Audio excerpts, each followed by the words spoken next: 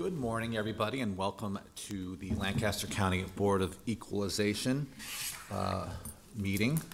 We are uh, holding a special meeting um, to take final action on the real property valuation protest for 2018. Um, For introduction purposes, uh, my name is Todd Wiltgen. I am the Chair of the Board of Equalization and the County Board this year. Um, On my left, we have uh, fellow Commissioners um, Bill Avery and Deb Schorr. On my right, we have fellow Commissioners uh, Roma Amundson and Vice Chair uh, Jennifer Brinkman.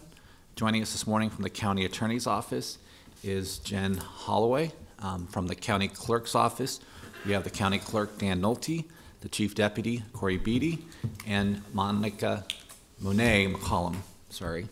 Also joining us from the County Assessor's Office is the County Assessor uh, for the last time, uh, Mr. Norm Agena. Um, With that, Mr. Clerk, would you please start the agenda? Copy of the Nebraska Open Meetings Act is located on the wall of the hearing room. Additionally, a copy of all written material to be discussed at today's open meeting is available from the county clerk's staff at the front of the hearing room.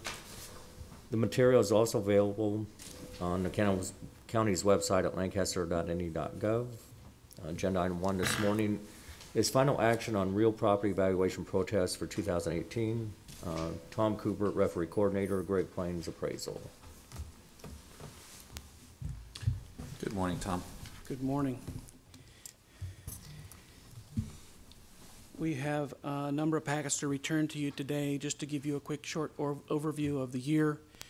Uh, We handled just under a 1,000 hearings this year. Uh, We had great cooperation again this year from the Lancaster County Assessor's Office, the Lancaster County Clerk's Office, the Lancaster County Sheriff's Office, and the Lancaster County Event Center. It takes a lot of coordination to pull this off, and uh, we certainly appreciate all their efforts uh, to get that done. We've done it in less days this year than we would normally do. We did it in longer days. We piled as many people in as we could, uh, just to try and make sure we could be as efficient as we could be. Uh, We used about 35 referees this year. A couple of them went through the training, but then never actually got on the schedule because the- we were a little lighter than we had anticipated in terms of volume. Uh, We do do a, a one-hour training each year uh, that you'll see on their invoices, but it, it allows everybody to get on the same page so that you get a better product. Uh, It's a little hard to do that on the run when we're, when we're doing all the taxpayers during the day, so we try to get them ahead of, ahead of time, tell them how we want it documented, uh, so that we have a, a very good file for anyone who would go on to the state and appeal to the Tax Equalization Review Commission. As you're aware, after you take final action, there will be a 30-day period uh, where they can, these decisions can then be appealed to the Tax Equalization Review Commission. Uh, This is a, a solid uh, year in terms of analysis for us because, um, for the most part, the assessor did a revaluation of commercial properties. And with those commercial properties, the analysis uh, was quite a bit more in-depth uh, when possible to try and determine what the value. In a normal year, per- perhaps last year, or again, maybe next year when they do residential, you know, we look at sales in the neighborhood, and so the sales comparison approach drives value. When we're talking about commercial properties, when you see a yellow packet of commercial or an orange packet of multifamily, uh, over four units, uh, those properties are driven by the income. And so we're, we're talking to people about what are their, you know, what is the assumptions that the assessor has made versus what can we ascertain as their income. Now, the problem with this is that in this process, we only get what they want to bring to us. And so we don't have the right to demand information, we ask for it. Uh, Some of it showed up later, and that's why we have additional packets today. Some of that information showed up, and we were able to get that analyzed. Uh, In some cases, we just didn't have enough to make a decision.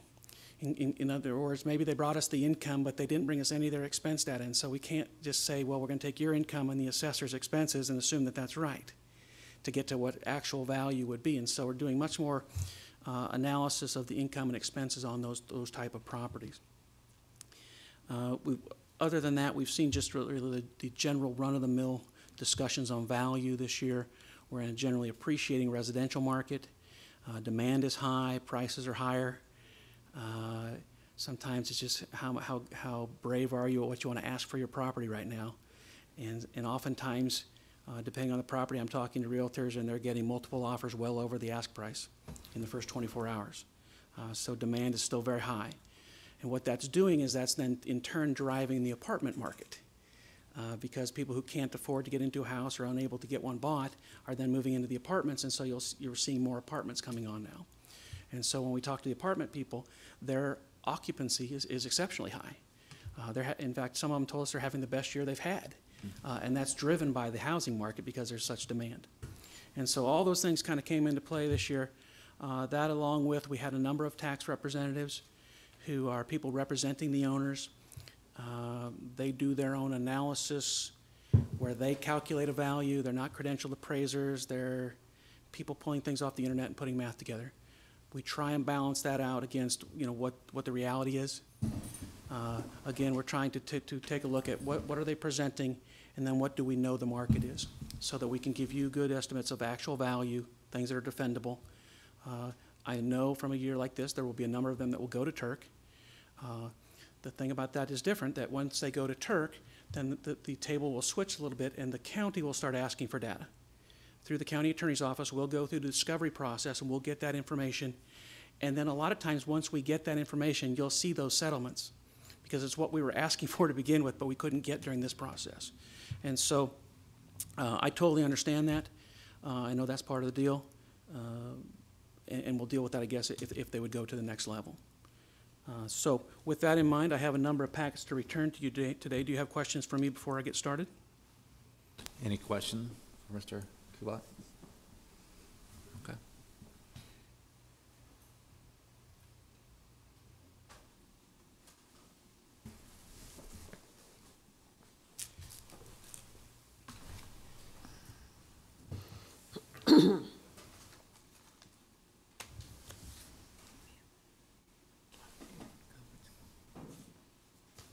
Before I get started, I would, I was remiss that I didn't introduce our intern. This is my son, John Kubert, and uh, John is the third of three sons to be interns in this process, and uh, he's going to go start college this year, so he has uh, done a good job keeping me organized. Where that goes. Okay, so I have these I'll in just in point, protest number. Tom, real quick, I'll make a point. I, at one point, my first job was working for my dad. And people have always asked me, you know, subsequent bosses, how, how bad have they been? And I always say that, not as bad as my dad. So, Sometimes dads can say things that bosses can't. Uh, Okay, so these are in protest order. This is protest eighteen six. Uh, This was a percentage complete issue. Uh, I re-reviewed what's in there. Uh, We had lowered the percentage to begin with, so we went from two seventy down to two twenty-nine five hundred. We'll stay at two twenty-nine five hundred as our recommendation. Protest fourteen. Uh, Provided a tax statement in comparison with another property. Uh, Certainly, as you're aware, listing differences lead to differing values. Uh, And the rent levels and the, and the gross rent multipliers uh, that were discussed in the, in the protest were reasonable, so we recommend no change. That would remain one hundred fifty-one thousand, two hundred dollars. Protest twenty-one. Provided a newspaper article. Uh, there's really no evidence of actual value error, so we would stay at $617,400. Protest 30. I provided a comparison with neighborhood homes uh, and an average price per square foot, and listing differences do lead to differing values. Uh, I can't give any weight to the average valuation within a, within a neighborhood. We're trying to do specific values per property. Again, no change, $536,500. But, But, yeah, sorry, on our sheet, it shows that the re- difference was a reduction of thirty-nine thousand six hundred. And the referee's recommendation, that gray box, second column, bottom number, five hundred thirty-six thousand, five hundred dollars, is what the referee's recommending. And that was a decrease of thirty-nine Okay. thousand. Right, so that, so Oh, there was, I'm the- sorry. there was the assessment, the referee's recommendation was five hundred thirty-six thousand five hundred. Based on the resubmittal, I'm recommending no change, that we remain five hundred thirty-six thousand five okay, hundred. okay. Protest thirty-six. Uh, discussed a remodel from two thousand and twelve. Uh, the data included was previously considered by the referee. Uh, They were upset that there was an increase in 2018 when no one else in the neighborhood had had that increase. That was because the assessor went out and corrected their listing during 2017. And so we all got to be talking about the same house to get to the right value. So uh, that is reasonable. So we recommend no change, that remain $305,900. Protest three, I'm sorry, 39, uh, discuss condition. Uh, Really no new data that we hadn't previously considered, and there's a recent sale that actually supports the assessor on this actual property. Uh, So we recommend no change, that remain $18,200. Protest 55 references an appraisal uh, and gave us just only two pages of that appraisal, so we can't really see what went on. Uh, We are aware um, that it did transfer. Uh, One of the things in the summary of the appraisal is they had the appraised val, the, the sale price is above the assessor, but they took off an an exorbitant amount for intangible assets. And so we weren't sure what that was, and so we didn't have a copy of the report, so we would recommend no change, $734,000. Protest 122 uh, gave us a uh, set of pictures that the condition that we saw in there appears to be considered by the assessor, and there's no evidence of actual value error, so we'd recommend that remain $89,300. Uh, Protest 141, and this is in a number of, of uh, what I would say mid, mid-range hotel properties that came in this year. Uh, Our hotel market is kind of in this state of, state of change. We're not quite sure where it's going to land right now.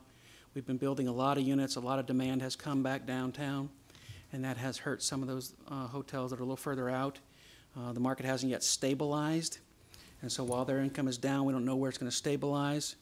Uh, We only got part of the income that we needed on this property, so uh, their expenses seem a little bit out of range. We really need the full three years to consider to see the trends.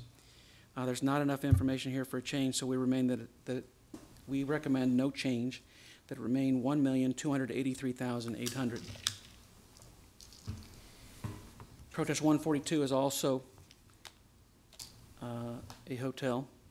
Uh, Really the same discussion I just had. We have partial the income data, but we don't have enough here to make a decision uh, that would lead us to an alternate value, so it re- would remain $611,000. Protest 143, again, uh, the same type of hotel property. We're getting parts of the income, but not enough to make a a value decision to say that the assessor would be wrong or to lead us to an alternate value. Uh, Therefore, it would remain $916,500.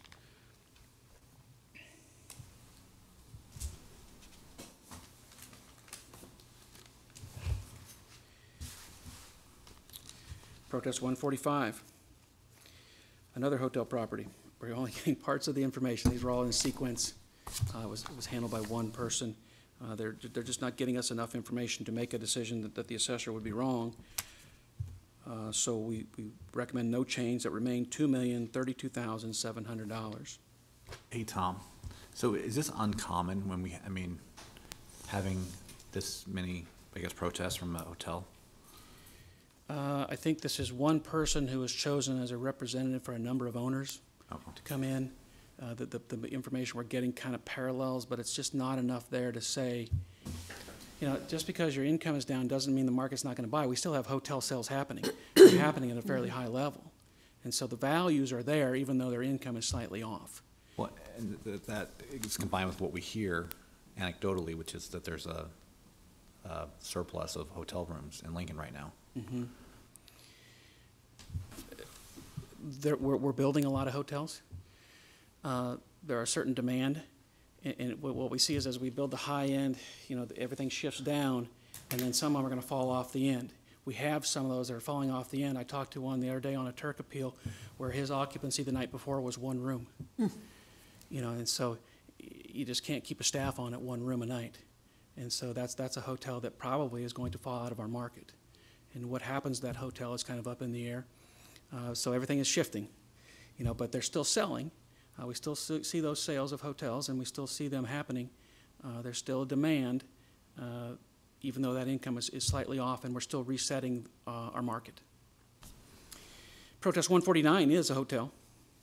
Same situation. Uh, The expenses are slightly out of range on some of the categories. Uh, We just don't have enough here to say that the assessor is wrong. Uh, So we're going to stay at $1,484,200. I believe protest 150 is the last one in that sequence of hotels. Again, not enough information to warrant a change, so it would remain $561,900. Could I ask a question? Commissioner Avery? Um, We've said no to all of these so far. That we're going to stick with the original. Yes. Um, Is that unusual that we would do this always? It seems to me that, I think, I think by the time we get done today, you will hear me say that there are some changes. ah, well, that would be nice. Yes, I- Uh, there, there'll be some balance. But, uh, Another question, aren't aren't these hotels represented by some professional who uh, knows how the process works, but yet is giving us incomplete information? I'm assuming that they're probably planning to go to TERC, because, yeah, there was hardly any information presented in their uh, So, packet.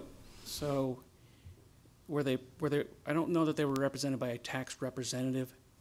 I believe the, the, I didn't say that, I said professional. I, I believe it was just a volunteer among the group Okay. who came in and uh, represented what was going on. Uh, I, I don't believe that, I think that if, if these go to TERC, this is where I think we're going to say to them, here's the information you need to provide to us.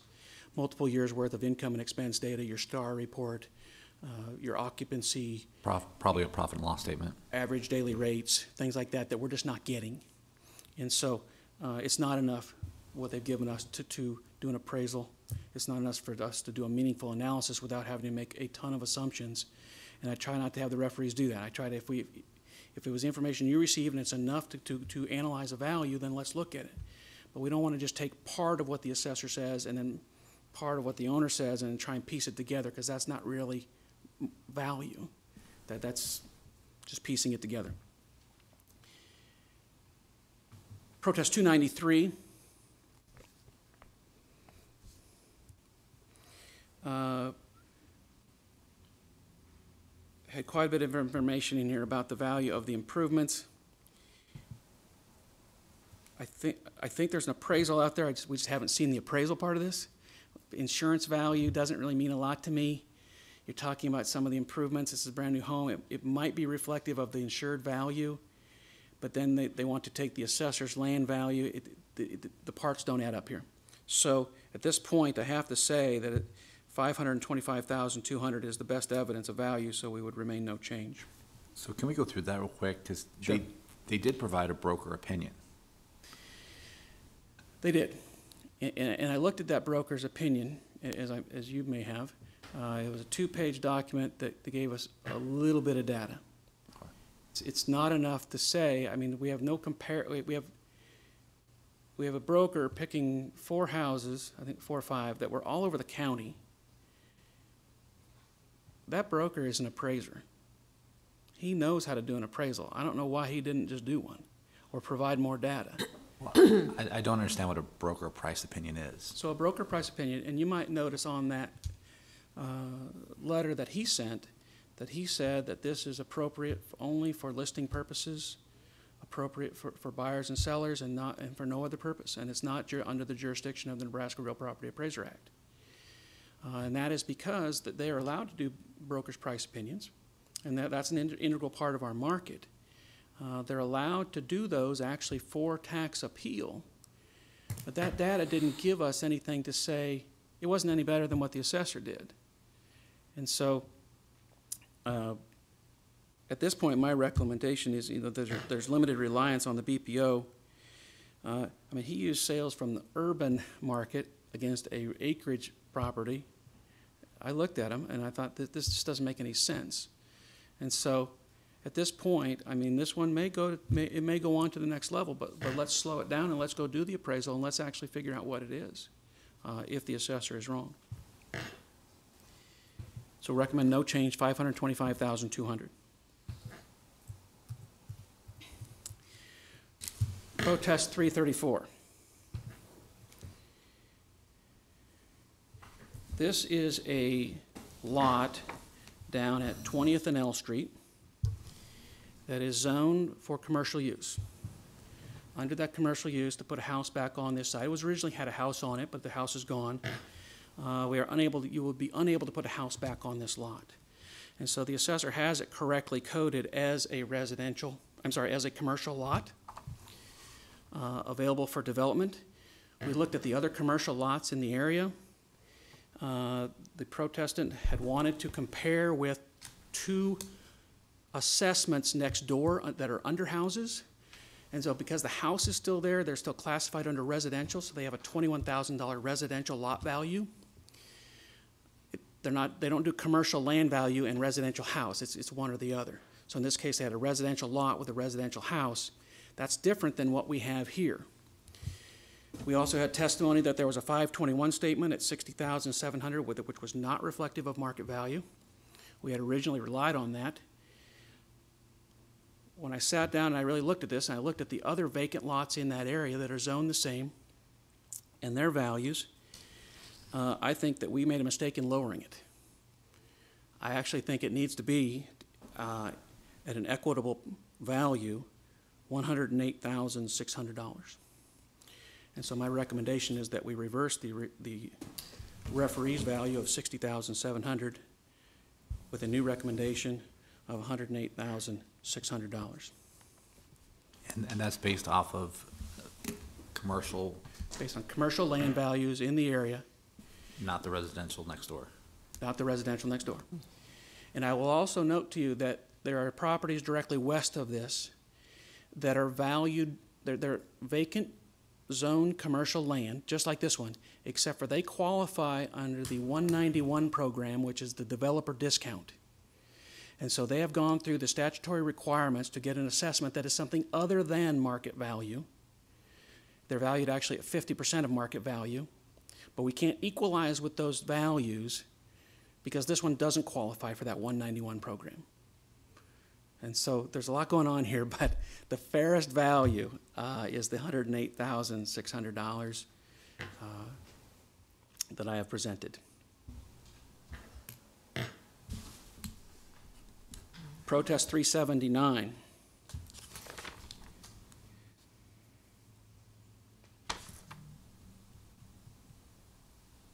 Okay, protest three seventy-nine and three eighty uh, are two properties that sold in a single transaction. Uh, They have since been combined by the assessor's office. Uh, As I went back through the data, the sale of the two parcels is not reflective of the market value. This is in the trade center. In the appraisal world, this is pretty easy work because the trade center, there is a set sales range that things happen in there. And this one happened outside that range, actually well below that range. And so for some reason, this sale is not reflective of market value. So it's a price point, but it's not reflective of uh, market value. And so we looked at that allocated sale price. Uh, We looked for evidence of personal property involved in the sale for these, these combined parcels. Uh, At this point, we're going to recommend no change on parcel 379. We had originally recommended 85,300. We will stay with that, 85,300. And on parcel 380, we had originally recommended 431,500, and we'll stay with that, 431,500. Can I just ask a question? Yes? What would be the purpose of doing that? I mean, requesting, I guess, I don't understand. I think, I think that i- if you look at the history of this property, they had one property, they were a growing business, they bought the next property, and they just kept it under two tax assessments. And then they sold those two properties to the next buyer.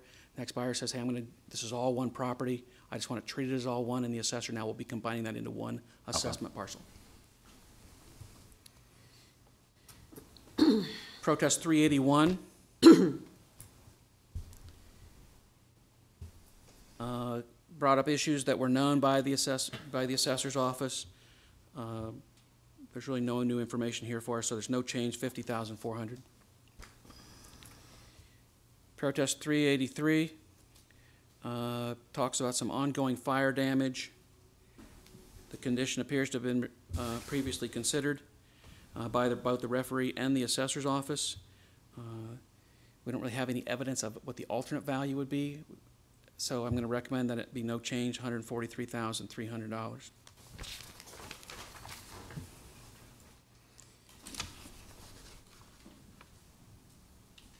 Protest 384 uh, brought up some floodplain issues and some parking issues that were previously considered. Uh, We don't have any of the income data on this property. It's, it's occupied by a tenant. Uh, At this point, I'd recommend no change, $652,000.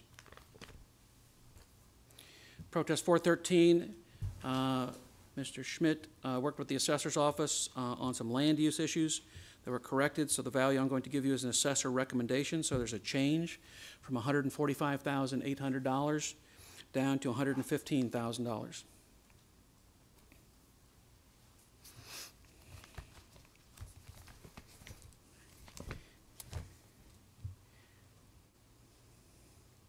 The next three properties were involved in a cumulative transfer. Uh, And they then allocated that transfer price among the properties. We researched it, and it appeared to sell between related parties uh, in lieu of foreclosure. We believe foreclosure may have been involved. So I can't give a lot of weight to the allocated sale price here. And so uh, there's no evidence of the actual value being an error, so with that in mind, I would recommend no change on 414, that remain 105,300. On 415, that remain $87,000. And on 416, that remain $211,500. Protest 423, uh, I did review the uh, comparison data within the neighborhood, uh, and certainly, as you've heard me say, there are differing reasons for differing prices. Uh, Sometimes the assessor is high, sometimes the assessor is low. When the median assessment ratio in our county is in the 90s, then we know that probably 50% of the properties that sell will sell above the assessment, and approximately 50% of the properties will sell below the assess- assessment. That's just statistics. And so, in any given neighborhood, I can find some that are selling below the assessment and some that are selling above. And so, uh, there wasn't enough here to say that, uh, that uh, we would change our value from the 435,000 that we recommended. Uh, And so at this point, I'm going to recommend no change, 435,000. Protest 426.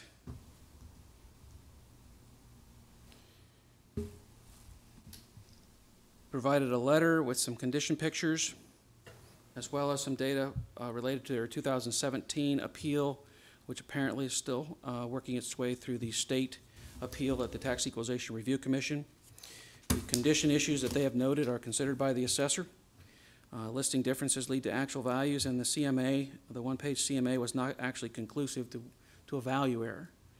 Um, In our housing market, and I look at this house, and I look at this price, and I think this, this could be, this could be reasonable. And so I'm gonna recommend no change, three hundred and twenty-three thousand, six hundred dollars.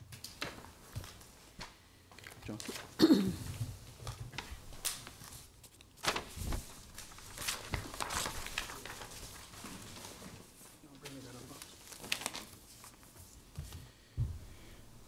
Protest 427.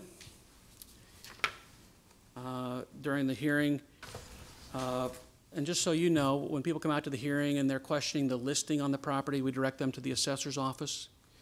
Uh, The assessor's office is in charge of maintaining the correct information. Uh, We're, we're trying to be the referees of value and not the referees of, of, of listing properties. Uh, This is one, though, that did contact the assessor's office. The assessor went out. You'll note on there, they were requesting an increase in the valuation. Uh, The assessor did go out and correct their listing. They do have a new value. Uh, So it would be raised, it would be changed from hundred forty-seven thousand nine hundred to hundred and fifty-eight thousand one hundred.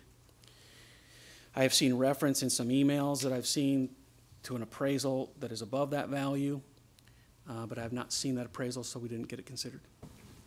Uh, We've also also seen that it's posted for sale, uh, listed on the market at this point at a value higher than the assessment. So I guess we'll stay tuned and see what happens. What is it listed for? Uh, I believe that number was $220,000. So uh, for consistency within the neighborhood, and I- I know it's it's going to sell above and below the assessment, just based on statistics, that would may may be one that sells above. Uh, But I would recommend $158,100. How long has it been listed, do you know? I- I do not have that information.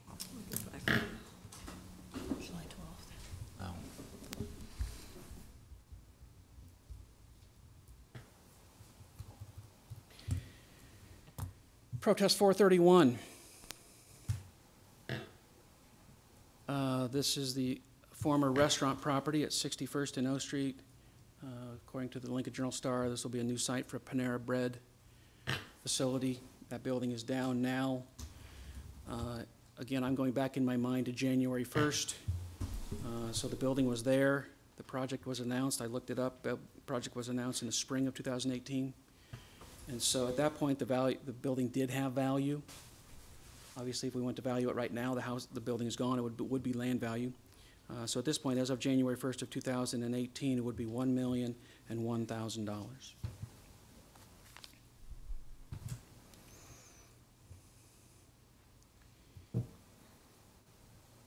Protest four thirty-four provided a, uh, purchase agreement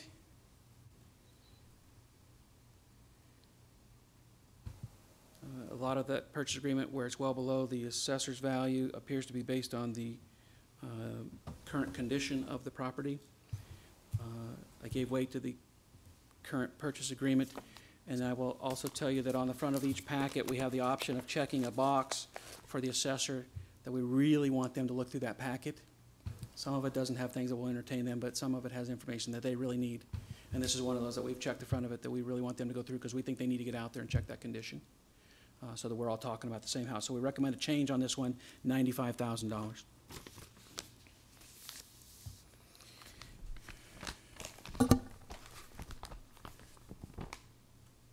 The next series of four uh, are suburban bank locations. We heard from a few banks, but, but, but not a lot. Uh, She provided some sub-market survey data, but no evidence of value error. And she did that, uh, at least on this first one, five seventeen. Uh, There's nothing in there that, that showed us a different value, so one million, one hundred forty-six thousand, four hundred dollars. When you think about banks, I mean, we all acknowledge that the market is changing. A lot of us do online banking. Wait, which one are we on? It was on four, five seventeen. Okay, there was one for 478 before that. Would you put a little asterisk by that? I'll come back to that. Okay. 478.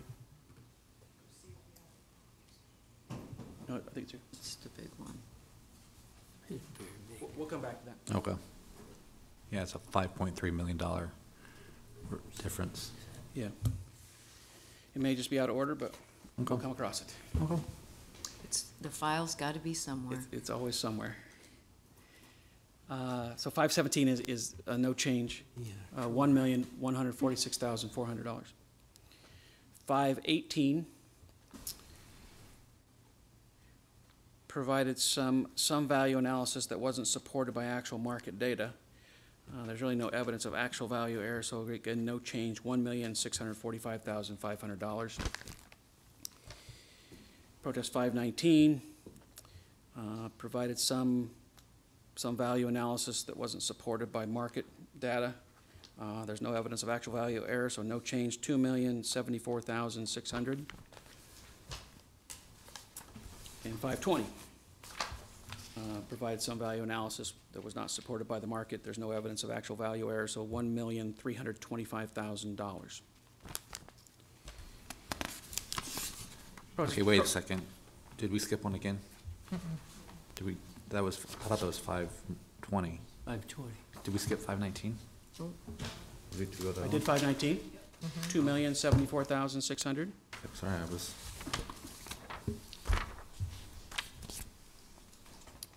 In, in protest management, uh, as Commissioner Schorr noted, the files are always somewhere. I now have four seventy-eight. So So going back to four seventy-eight.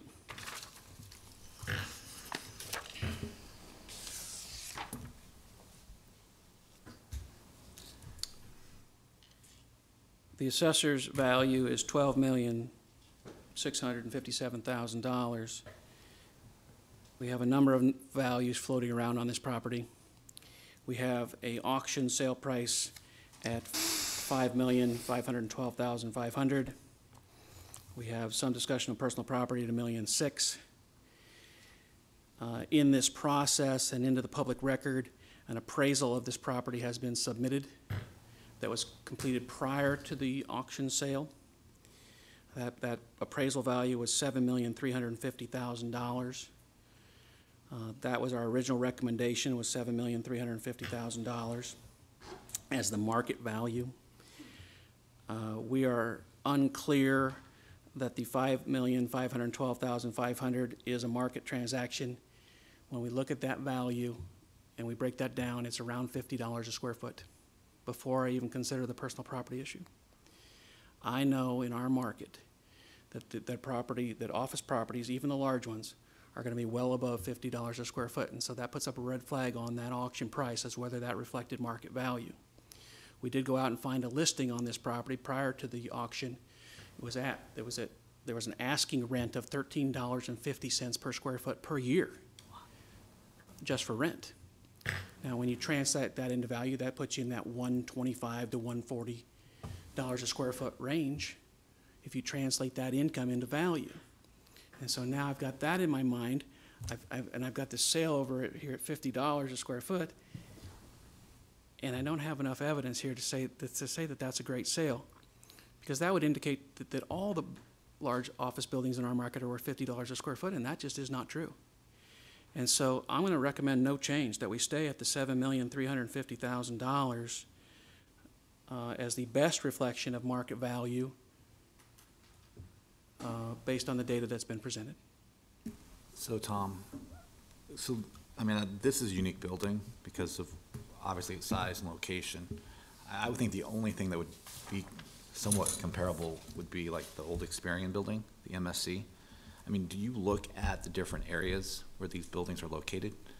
Because, I mean, this is more of an, you know, Based on the size, this is hundred and twelve thousand square feet. You know, this is a regional building.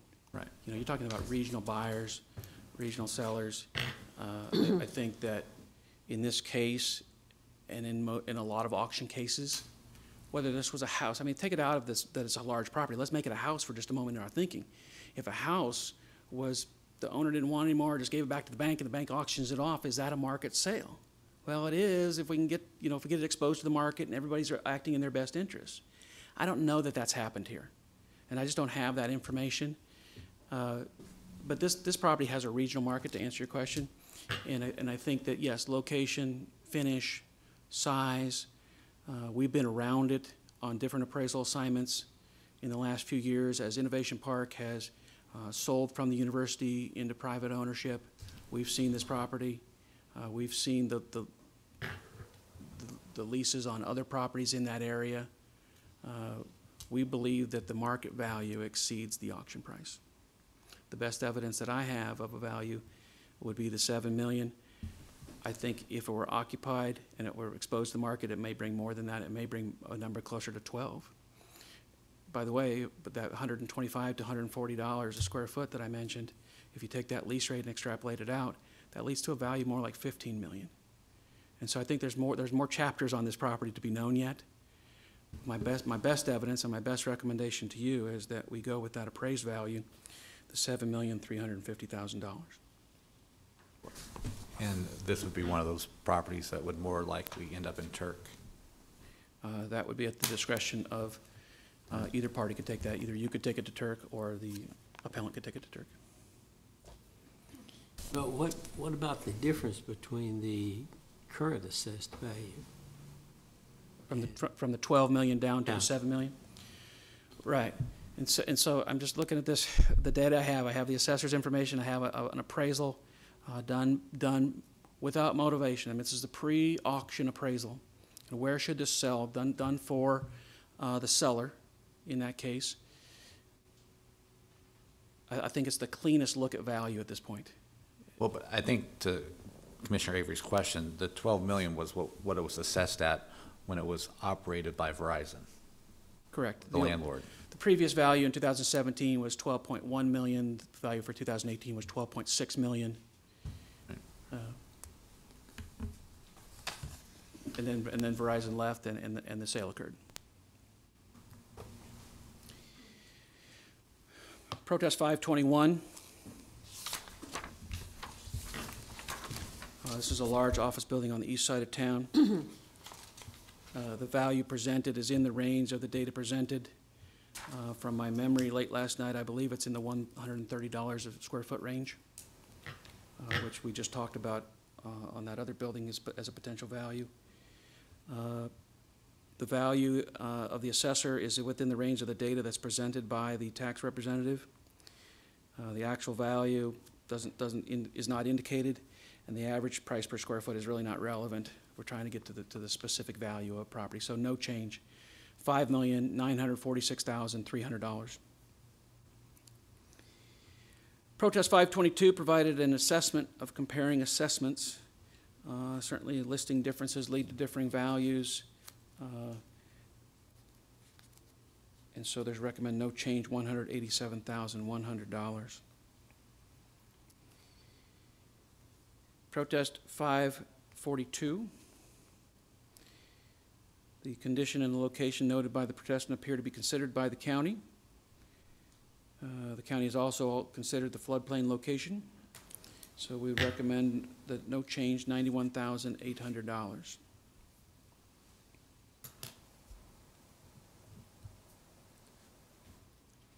Protest five fifty gave us a summary of their value history and a Well, it's, I, I called it vague. It's a vague reference to a sale. Uh, it wasn't anything that we could really follow up on to do any analysis on. Uh, there's no evidence of a value error presented, so I'm gonna recommend no change, one seventy-one, two hundred.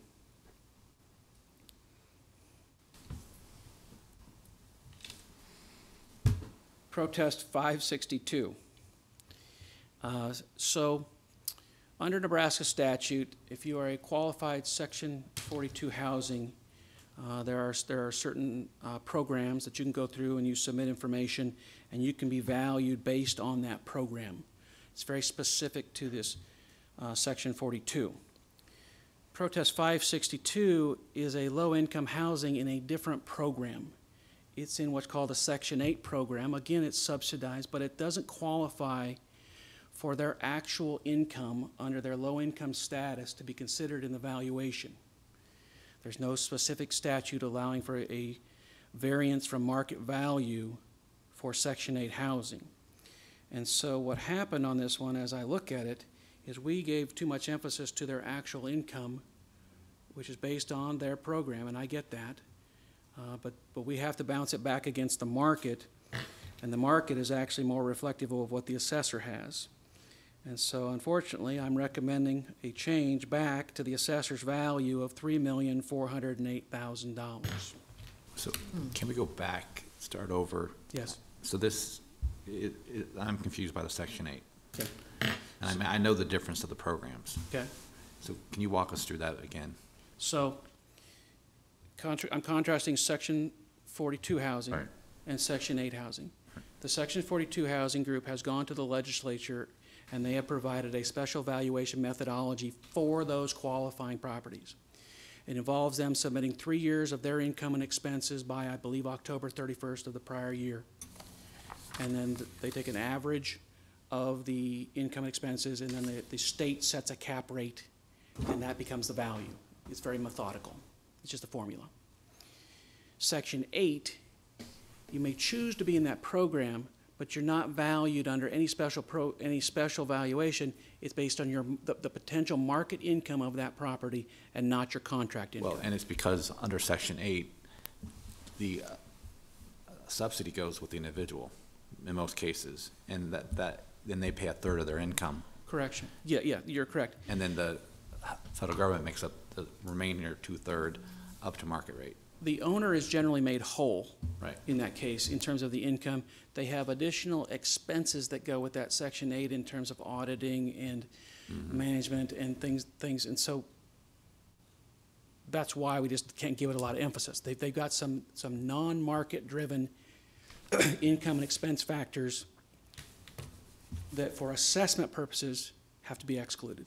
And in order to exclude those, we have to go with the market, so market rent, market expenses, market cap rates, market value. That make sense? And that's universal for all Section 8? That is universal for all Section 8. Okay. So three million, four hundred eight thousand dollars, that's the original assessor's number. Protest five ninety-six, provided some tax comparisons. Uh, This was information that was all previously considered during the process. Uh, so that reduction from 135,600 was the original assessment down to 122,500. Uh, that was what was considered in that. Uh, certainly, again, I would point out that listing differences just lead to different values. Uh, so I'd recommend no change that we remain at the original referee's recommendation of $122,500.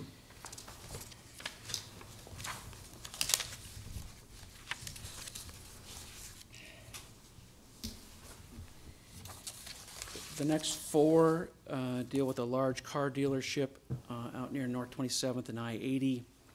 They provided some valuation analysis and some pictures. Uh, I did go through it. Uh, The, the condition is already reflected in the assessor's record, and the market data that they presented was not comparable. It was not better than what the assessor had available for, to them. Uh, It was not the- the evidence that you would choose, or not the comparables that you would choose if you did an individual actual appraisal process. So I would recommend no change on 648, that it would remain $1,759,000. On 649, that would remain $8,321,500. On one, on 651, that it would remain $1,590,000.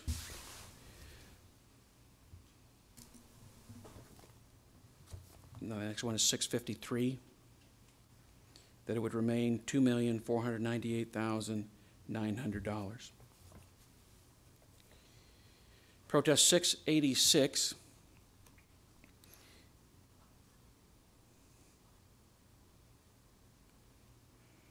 Is a house that has this, has ongoing renovations. Uh, they provided some pictures. I noted that the assessor was, uh, visited the site in December of two thousand seventeen. Uh, Their notes kind of contrast what's in the pictures. It's, it's just ongoing.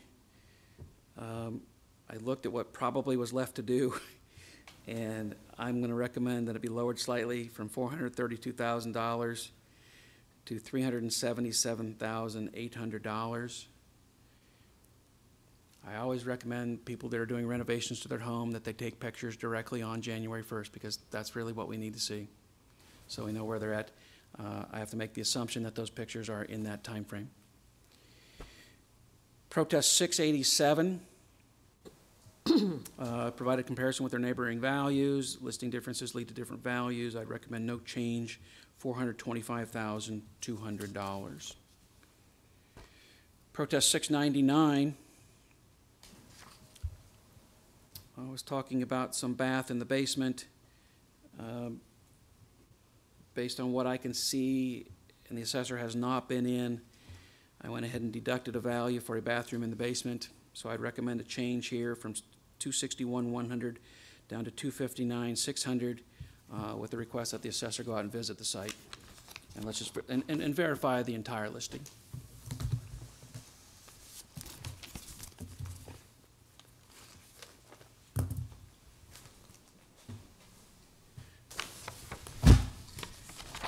Mean, I guess going back to that, did they provide photos? There were photos in there. Just they need to be ver- verified.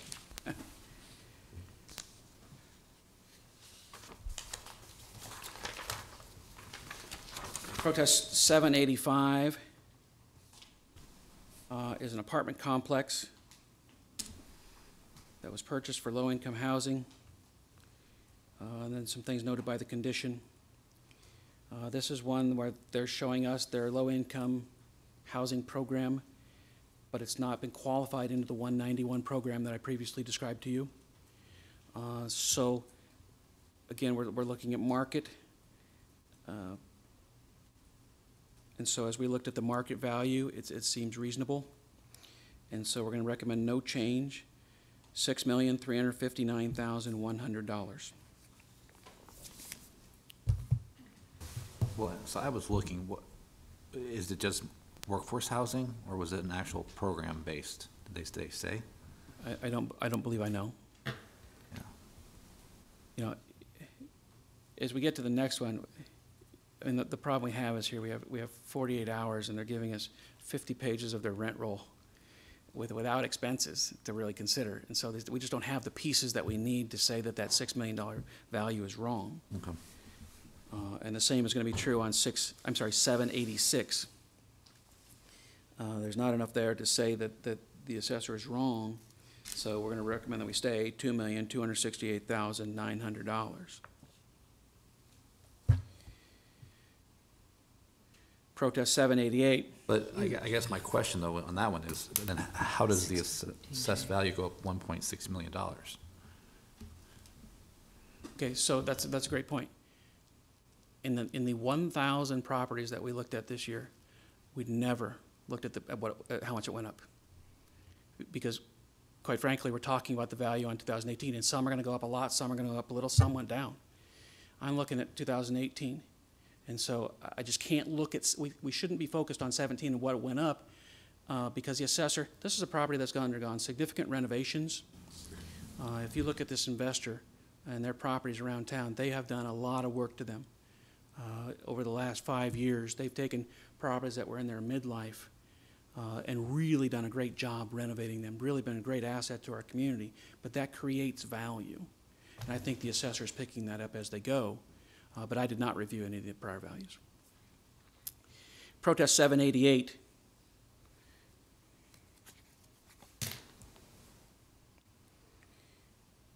Uh, Again, this is one that's sold in a group of properties. Uh, And then the protestant would want to allocate some of those out. Uh, When you, when you're dealing with a group of properties, it's a different dynamic than is one property selling or, or one market value that we're trying to estimate as we stand here today. And so, uh, there's really not enough here for us to note that. We did note that the sale was disqualified by the assessor's office, and that's mostly likely due to the group sale Oh, yeah, of multiple properties. It's very difficult to allocate a- one property out of a group, uh, a group sale situation like that, so we recommend no change, two hundred forty-five thousand, four hundred dollars.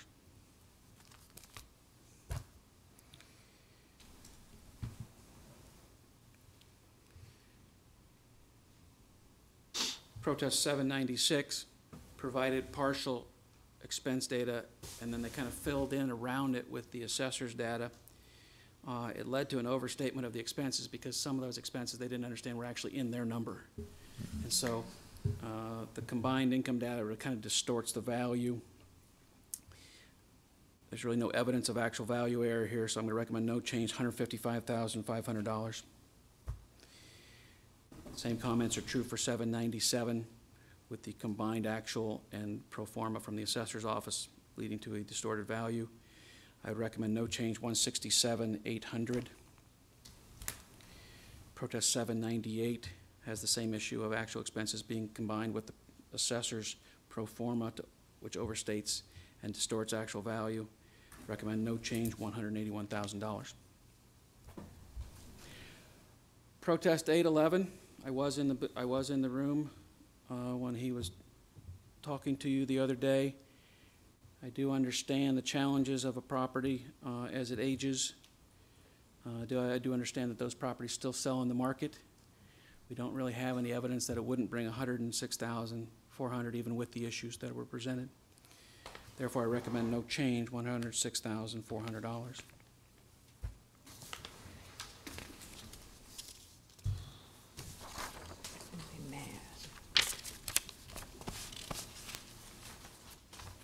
Protest eight one eight.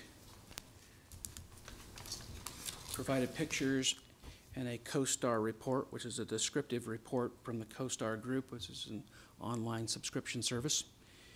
Uh, It is partially occupied, partially not occupied. There's really not any evidence of actual value error, so will remain no change. Three million, one hundred sixty-one thousand dollars. Protest eight nineteen, also same protestant, provided pictures along with the CoStar report, par- appears to be partially occupied. Uh, we don't have any income data and expense data, uh, so I'd recommend no change, one million, seven hundred and two thousand, five hundred dollars.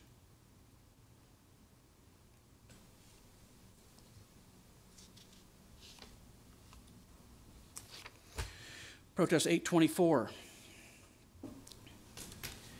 Provided an appraisal uh, copy of the appraisal.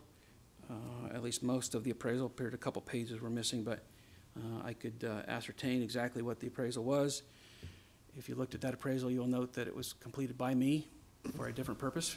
Uh, I decided that I did a good job. so I'm going to recommend a change, $462,100. Four sixty-two. And the reason that's an odd number is that the appraisal was slightly older, so we time adjusted it to January first of two thousand and eighteen. Protest eight twenty-six.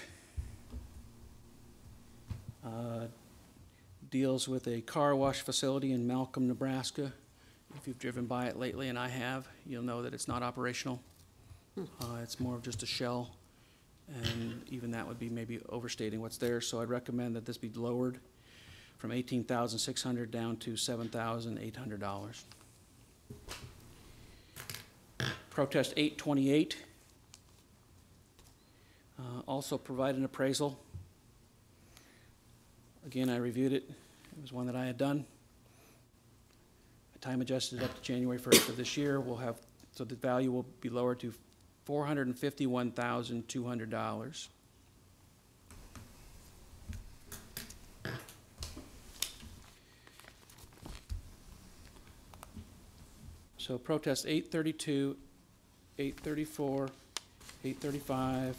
thirty-six, eight thirty-seven, eight thirty-eight, eight thirty-nine, eight forty, eight forty-one, all have a similar story. These are properties that are involved in many ongoing appeals to the state. Uh, These have, these properties have appeals that, uh, from 2018 all the way back to 2014. Uh, We met with this uh, investor yesterday regarding all of the pending appeals, including the 2018s. Uh, He was very forthcoming with his income and expense data. He gave us exactly what we would have requested uh, from the TERC process. Uh, These, there were 32 cases involved, 32 appeals uh, on these, on these properties alone. And actually, and some others that were not involved this year. Uh, We have reached a resolution on all those cases. And those resolutions then I have brought forward into what I'm going to tell you right now. I don't know why his properties are, are being valued so differently than the actual income and expenses. His actual income and expenses were very reasonable once I, when I, when I looked at them, and I, I've gone through them over and over. Uh, they're very reasonable. And I just don't know why that, va- those values are off. Uh, but as you know, I'm gonna get up here, I'm gonna tell you the right thing. And, uh, so these will, will re- involve some reductions. So eight thirty-two, Can I just, real quick, yes, um, for housekeeping purposes, when I click on the link for these protests, it takes me to the assessor's website? Right, because they didn't submit additional Okay. information.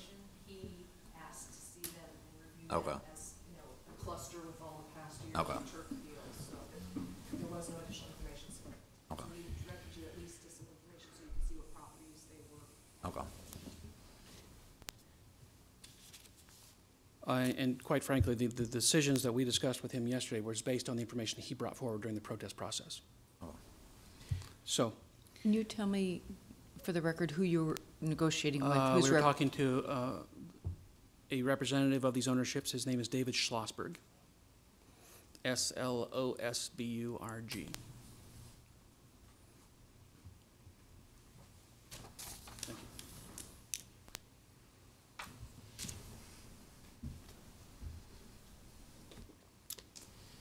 So, with that in mind,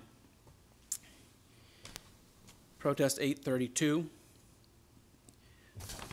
Uh, this this is for reference. This is Rockledge Commercial Properties near 84th and Van Dorn. Recommending a reduction based on the, the TERC settlements and TERC analysis and the analysis of his income and expenses. The revised value would drop from four million, seven ninety-six, seven hundred to three million, two seventy-two, seven hundred dollars. Protest eight thirty-four is a retail strip center near Seventieth, I'm sorry, Seventieth and Pioneers.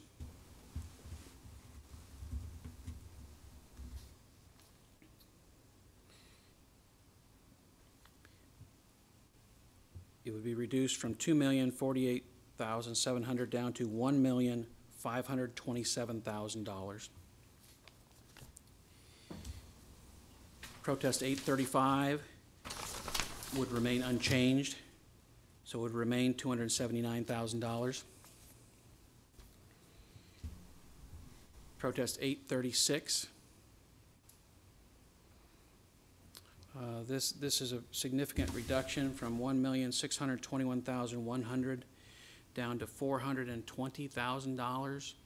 There was a sale in December of two thousand sixteen on this property at four hundred thousand dollars. The challenge that it has is, is the assessor has it classified as an office site. It's really more of an apartment site, and that's where he's headed.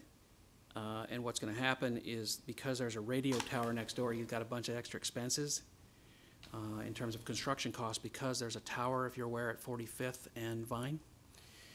And so that's what influenced that sale price. And so the sale price really is the best reflection of value here, uh, and it does make sense in lieu of the market and his extra expenses. So four hundred twenty thousand dollars. Protest eight thirty-seven. Uh, this is an apartment complex near Forty-fourth and O Street, would drop from 22,789,100 down slightly to 22,440.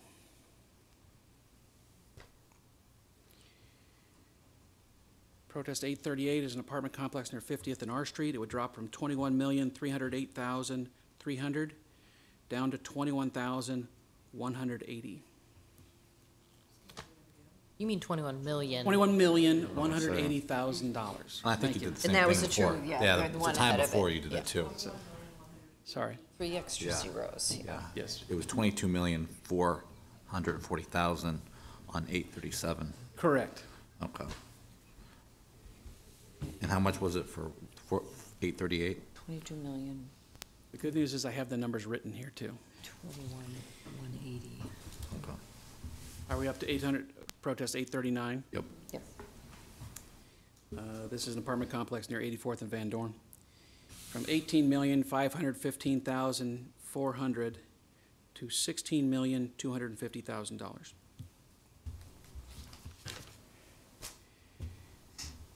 Protest eight forty, apartment complex near Seventy-second and Pioneers. Uh, includes two parcels. The first parcel is eight forty, from eight million, seven hundred seventy-one thousand dollars and three hundred to eight million, one hundred and seven thousand, five hundred dollars. Eight one oh seven, five hundred. Parcel eight forty-one would change from ten million, five hundred thirty-eight thousand, six hundred, would be reduced to nine million, one hundred forty-two thousand, five hundred dollars.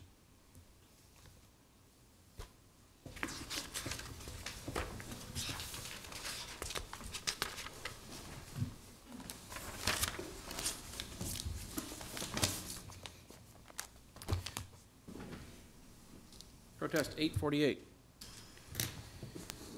Provided a map of some assessed values. Uh, There are differing reasons for those differing values, and the data was previously considered, so we're remain hundred seventy-seven thousand dollars. Protest eight fifty. Provided pictures and estimates for renovation work, uh, as well as comparables of some other assessments. The condition appears to be reflected in the assessor's record. Uh, The listing differences lead to differing values. We'll recommend no change, one hundred forty-five thousand dollars. Well, so, and this was a cost to cure? I mean, was there by chance a request to have the assessor do a visit? Uh, There is not, but there can be.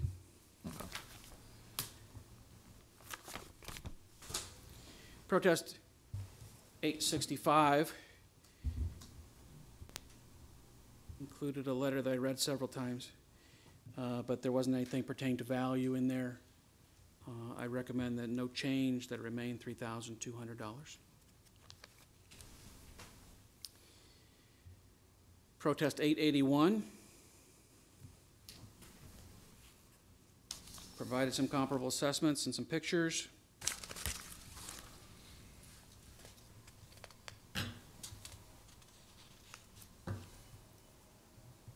appears as though the taxable value analysis was based on the living area, basement, and garage areas.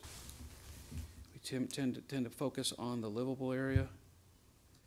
Uh, we an analyze the data on a livable area, and the current reduction is well supported. So we re recommend that we stay at the referee's recommendation value, $525,800. Protest 884 uh, is,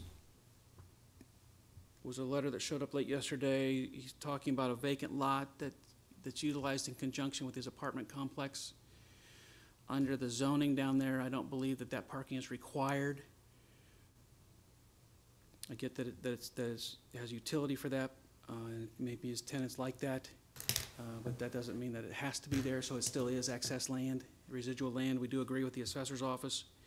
We recommend no change, 340,600. Protest 887 provided a part of the letter that came with 884. Um, there's really no evidence of what the rental rates are. He doesn't like what the assessor's using, but I'm, I'm not even quite sure what his, his point was. I recommend no change, $434,300.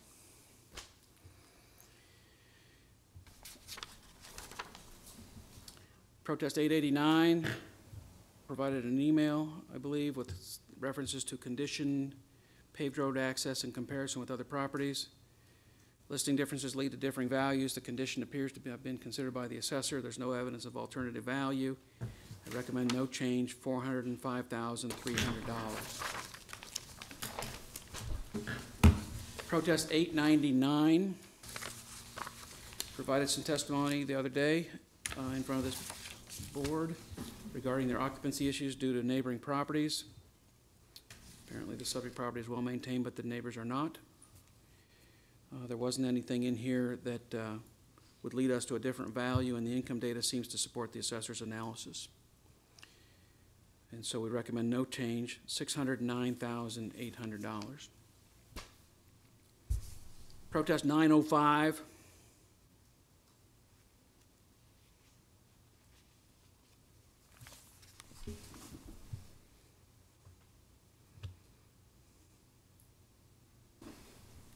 We considered this along with protest nine fifty, they really function as one unit. Uh, and the value differences on the land are consistent with the different characteristics. We'd recommend no change. There remains one million sixty-eight thousand eight hundred dollars. Protest nine oh seven provided a comparison with one property. Certainly listing differences lead to differing values. There's no pattern of error.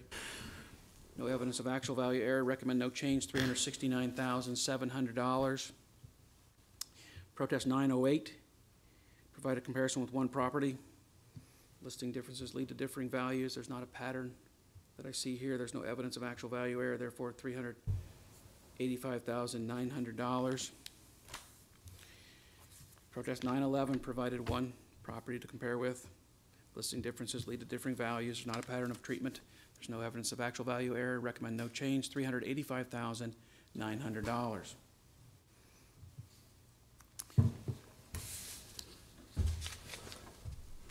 Protest nine fifty, uh, as I indicated, we had previously considered this with nine oh five. They function together. Uh, the allocation is considered. Uh, recommend no change.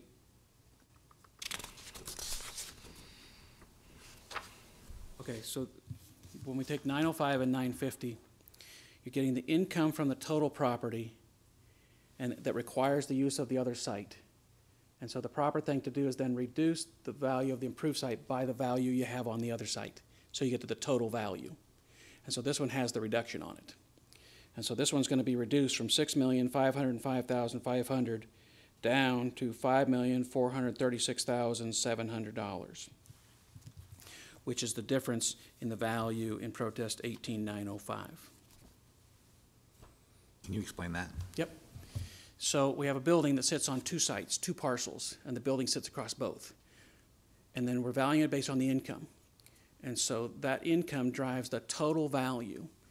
And so the way we do that is we get the total value on one, we deduct the value of the land on the other, and it still adds up to the whole. And so the math works here. Uh, we see this quite often when two sites are required. Okay, but then that, I think, sometimes causes confusion when people look at the parcels without knowing that. In my perfect world, we would combine both of those and we just have one value, one parcel. Uh, But for whatever reason, sometimes it might sit across tax districts or fire districts or some kind, something else that the tax rate would be slightly different and they would not be combinable. And so then, we'll- then we end up with two parcels. So then how do you attribute the income to one parcel versus the other? We value the whole based on the income. And, and let's just say it's a million dollars on the one. If the land value over here is two hundred thousand, then we would deduct it over here so that the total still adds up to the million. And that's what we did.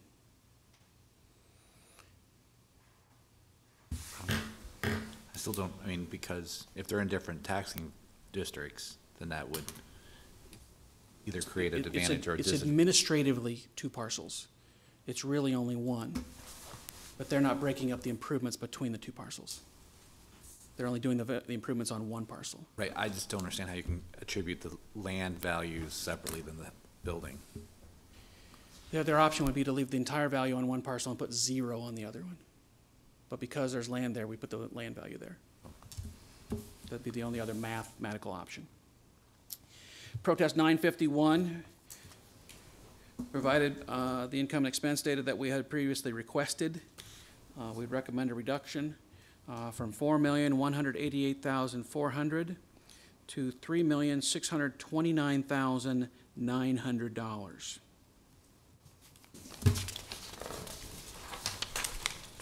I have reached the end of my pile. Do you have any numbers that are left on your list? Um, can we go back to the number of parcels that we, I think we talked about it earlier, I think you and I talked about it, but the properties that you had settled this year Yes, and for prior years, yes. so that, not only is that for twenty eighteen, those are, so you neg- negotiated a settlement for all those cases? Get Correct. Okay. Correct. So all the cases, including the 18s, uh, were discussed in the meeting yesterday.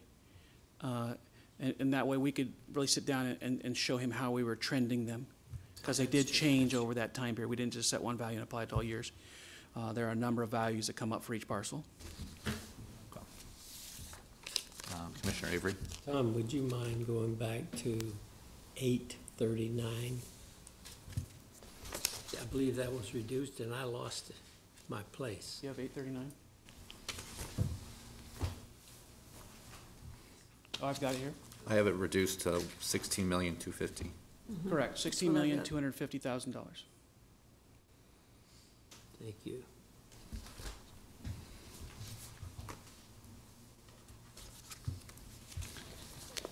Any other questions for Mr. Cooper? Um, I- And maybe you Commissioner don't have, Moore? have this figure yet. On the printout that we were working from, the uh, total reduction prior to the day, today was six million, seven hundred dollars. Do you have a total with the changes you've given us today? I do not. This would be the first time the county has heard these numbers. Okay, thank you. We, we want to see how much bragging we can do. Because of reductions. Okay, um, any, any other questions?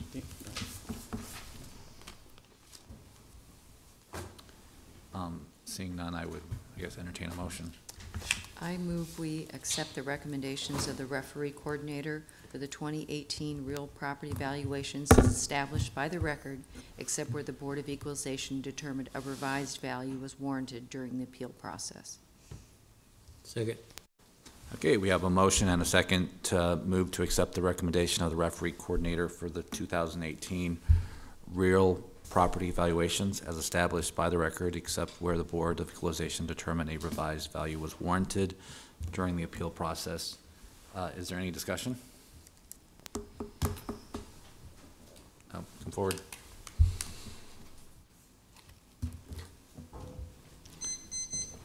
Um, Yeah, please state your name and My name is Ronald J. Pella, and I'm representing my son, Michael. And um, just a couple of observations. If you would go to 423, um, I guess I served under Governor Bob Kerrey through David Heineman, and I served a commission. And I know that you can't be experts in all fields that you deal with.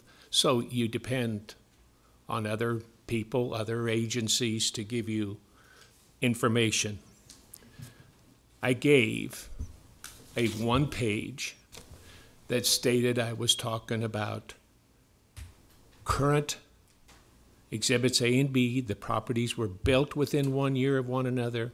Most recent sales and purchases were all within one year of one another the current evaluations of the comparables, not that I chose, that you chose, are the ones that are exhibited. They are current assessed values. So if you look at all of that and you look at the purchase price of the property, I'm just not certain of how you get to that number. If you can show me a mathematical or a reasonable a way for that to get um, a 30, 40% increase would be of some value. I, I, I, I guess I'm, I, I, I listened about the word market value, and I will say one thing. Uh, I used to do that myself. When we got into a loan procedure, when he said 21 million and then said 12,000 or whatever it was, uh, head spinned like that. That was a good way to find out whether anybody fell asleep while he was giving his presentation. So I understand that, but he used the word market value enormous amount of times. Now, if you purchase something at market value and there's nothing that's inflated that value of that property. In fact, I would say that the property was devalued because fireplaces were taken out, jacuzzis that, quite frankly, weren't weren't desired and didn't work. Um, ceramic tile in the kitchen that they said was remodeled. Actually, there was ceramic tile. It's now linoleum. Um, I guess those are things that I, I'm not, I'm not understanding why the recommendation stays. I, I, I know what he told me. You got another process, but I'm saying there's some place for, I think, Mr. Avery, if I remember right, I remember you working at the tall building down at the end of the mall here. So I've, I've had, I, when I seen your face, I recognized I didn't have to look at the name but there's some place where the buck has to stop. I went to Lancaster uh, uh, Event Center and I gave all of the information to the young man. We had a very reasonable, very, I thought, productive. I gave him all the information. Um, and um, et cetera. And after our 15 minutes or so, I left and um, I, I get the paper, and of course, um, there's a 50,000 reduction, but when you've increased something by 40%, why? Um, that just didn't seem acceptable, and um, um, so I guess that's my statement. I, I, I would ask you, you're the governing body, to look at this simple math that's working with market values, current dates, comparables that not I took, that was given to me, using their current values of 2018 and everything that was done at purchase time. So we're talking about something that was equitable, and I used that word yesterday, and I noticed it was used today. And I don't think best estimates, we're not in a best estimate era, I don't believe, not with all the technology we got. We can, we can do better than that, and we've got a, a mind of our own to look at something. And uh, if I go to motor vehicles and I bought a new, uh, what do you call it, uh, Volkswagen, and I have a new Lexus, I'm not gonna be, I'm not gonna be charged the same tax. I'm not gonna pay the same sales tax, and I'm not gonna pay the same car tax. I'm asking you to review this property in good faith, and uh, I think if you do that and look at exactly what's here, nothing is, you know, when I got all through, I never looked at anything on my son's property. I just took what I was, I was given as, here's why you're, we're coming up with this number. There was no way for me to find it, so um, I, I was disappointed this morning when I was told, uh, I'm not changing, and uh, you have another protest. Um, Well, and so, I mean, I, I appreciate that. Um, so I'll tell you the same thing I told people that attended on Tuesday, and the same thing I told them last year, which is, what we're looking at is the alternative value, which is sometimes doing the comparable on paper doesn't work. You need a third-party, uh, you know, alternative value estimate, opinion, whether that be an appraisal or a market analysis or some, and that could also be done, you know, by the assessor's office through a informal site visit. I mean, hmm. if you're, if you're gonna argue that the quality or the condition of the house is different, or the property is different, I mean, again, you, you need that third-party, I guess, inspection. But, and then, like I said, at, at this point, in this stage, it's difficult to do. And that's why we're kind of, um, working with what the, uh, uh, re- referee coordinator has recommended. And, and you do have, uh, you know, the, you can, you know the process. You can obviously ta- take the case to TERC and, and have them, you know, determine an, an, another value. But again, that, they'll probably ask for the same thing, which is the third-party alternative value. So I think that's, we, we appreciate you coming today. Yeah, well, I'm just saying, I, I I looked at rating and, and, and I looked at a couple of things that were on the printout sheet from the assessor's office, and I go, well, this says rating, this says satisfactory, this says five satisfactory plus. And he said, no, that's not rating, that should be actually condition. Well, I said, then if that's condition, then you would have to go almost flip that from five satisfactory plus to less. A- And so when I look at all those things and then I ask for a couple of codes, then I was given, um, this property is not to be used as a comparable. Yeah, and that's, yeah, and I, I would encourage your son to contact the assessor's office. Well, Okay? I've, I've done everything I can. Um, any other discussion? Okay, we have a motion and a second. Um, uh, no further discussion. Uh, Please call the roll. Avery, Yes. Brinkman, Yes. Schorr, Yes, Amundson, Yes. Wiltgen. Motion carries five to zero. We are adjourned. There's I think- second motion. Oh, I'm sorry. S- um, I I move to close the Board of Equalization acting upon the individual re- real property valuation protest for 2018. Second. Okay, we have a motion and a second to move to close the Board of Equalization, acting upon individual real property valuation protests for 2018. Um, Any discussion? Please call the roll. Brinkman, Yes. Schorr, Yes. Amundson, Yes. Avery, Yes. Wiltgen. Yes. Motion carries five to zero. Okay, now we are adjourned.